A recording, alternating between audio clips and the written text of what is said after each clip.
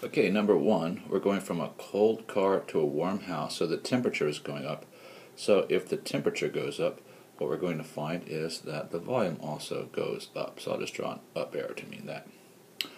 Uh, which gas law does this illustrate? Well, that would be Charles's law. Uh, as the tires of your cars cool off, so the temperature is going down, what will that do to the pressure? Now, the thing to remember is that whatever temperature does, the pressure or volume will do the same thing. So since the temperature is going down, then it turns out that the pressure will go down as well. Now, which law does this illustrate? That would be Gay-Lussac's law. So I'll just put a GL for Gay-Lussac. Uh, let's try the next one here. Scuba diver holds her breath as she swims to the surface. Ooh, that's not a smart idea. What will happen to the volume of her lungs? Well, here's what happens. As she swims to the surface, the pressure is going to decrease or go down. And since pressure and volume do the opposite, what we should find then is that the volume of our lungs gets bigger. Uh, that's not a good thing for you, and that's an illustration of Boyle's law. All right, what happens to the pressure if the molecules of a gas are removed from a container? So less molecules makes less pressure, so it will go down. Uh, what happens to the volume of a gas if the temperature is increased? Remember, whatever temperature does, the other one does the same thing. Since the temperature goes up, so does the volume. Let's give ourselves a little more room here. All right, number six says what happens to the temperature if pressure is decreased. Now remember, temperature always does the same thing as whatever it's associated with and vice versa. So therefore, if the pressure is going down, uh, then the temperature is also going to go down. Uh, what happens to the volume if pressure is increased? Now remember, volume and pressure are inverse of each other. They do the opposite.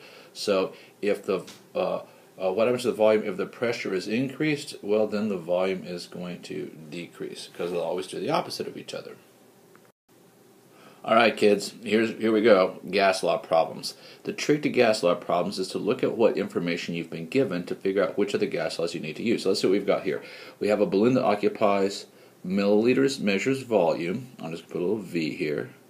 All right, and then we see that the temperature is 22, and that's temperature. So I have volume and temperature, and then it says how big. Well, how big something is, that's its volume uh, at a new temperature. So I'm going to have to use this equation here. But what I have to remember is that I cannot use Celsius in gas laws because only Kelvin's works uh, as far as doubling the temperature will double the volume. So I'm going to have to add 273 degrees to both this number and this number to convert them to kelvins. So let's just go ahead and substitute in with that in mind. So this here is going to be V1 so 2400 divided by, now I'm going to take uh, the 22 degrees here, I'm going to add 273 to convert it to kelvins, and when I do, I'll get 295 equals V2 is what I'm looking for, and I'll divide it by T2, which is negative 36, but I have to add 273 to that to convert it to kelvins, and that gives me 237. Now to solve this I simply have to get V2 by itself so that means since V2 is being divided by 237 I have to multiply both sides by 237 and when I get do that I will get V2 equals 1928 milliliters. And that shouldn't surprise us. It got smaller because the temperature got smaller. All right, let's look at the next one. What I have is a cylinder of compressed air and a paintball gun. It starts off at this temperature and this pressure, and I want to know uh, what the temperature, well, uh, what the pressure is going to be if the temperature drops. So it looks to me like the equation we're dealing with here is, which is very similar to what we had up above. All right. So in this case, uh, I have to again remember that I have to convert the the temperatures in Celsius have to be converted to Kelvin by adding 273 degrees. So let's just start substituting in then. What I get here is the initial pressure or P1 is going to be 6 and that is going to be divided by the T1, which is, uh, let's see, what's that? That's uh, 293. That's going to equal, uh, I wonder what the pressure is. What is P2? And the new temperature is uh, negative 30 plus 273 would be 243. Now what I have to do is I have to undo what's being done to P2. It's being divided by 243, so I have to multiply both sides by 243.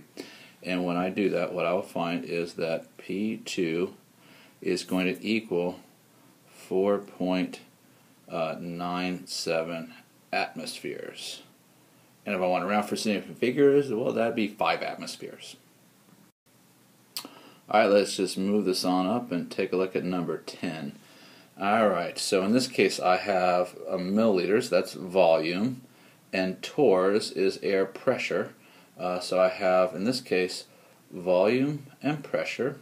Uh, and at the top of Mount Everest, the pressure is this, so how big is volume? So it looks to me like the, we have pressure and volume and pressure and volume. That's Boyle's law. The equation for Boyle's law is P1 V1 equals P2 V2. So let's substitute into this and see what we get.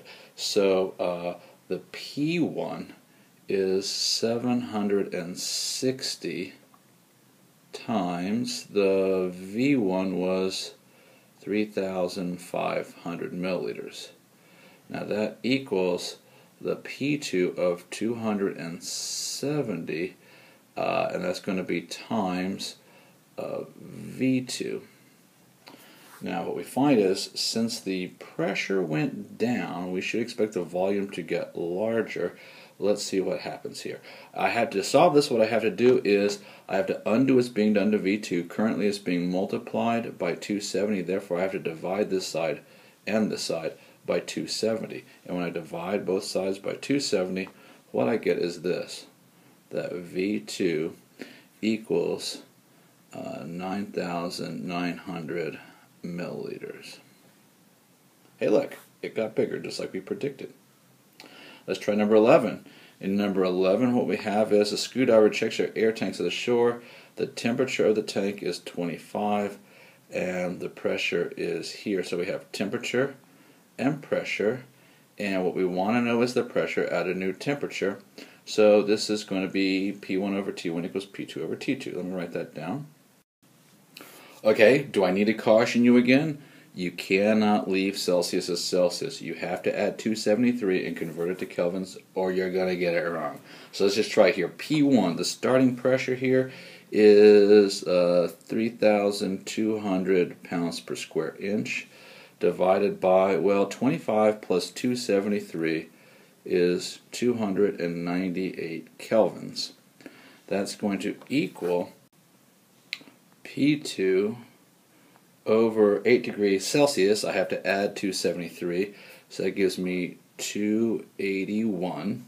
And so I have to undo what's being done to P2. It's being divided by 281, so I have to multiply by 281. So I multiply by 281, what I'll get is that P2 equals 3,000 pounds per square inch PSI. All right, and finally, number 12. This isn't so bad, is it? Number 12. Let's see what we've got. Ooh, a scuba diver with air embolism. That is not good.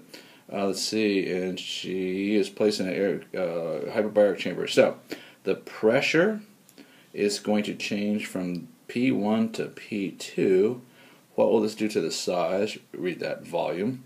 If this is the, what it started out as, so this is V1.